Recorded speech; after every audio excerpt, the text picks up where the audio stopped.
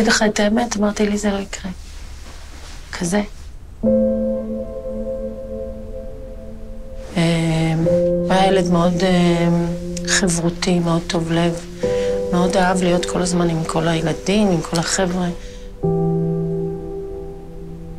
זה קרה ביום שלישי, הם סיימו בעשרה לאחת, הם עלו הביתה לשתות מים, הוא והחבר שלו ועוד שתי בנות, הם היו ארבעה ילדים בבית, ואז כנראה הם רצו להרשים את הבנות, הם היו שתי בנים ושתי בנות.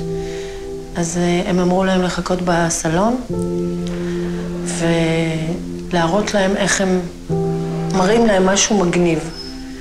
הם אה, עלו על, החלון בחדר ממ"ד וניסו לעבור למרפסת.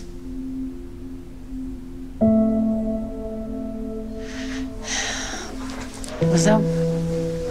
לא הצליחו להציל אותו, כי 12 קומות. אחר כך אה, הבנתי שהם עשו את זה כמה וכמה פעמים, והם הצליחו.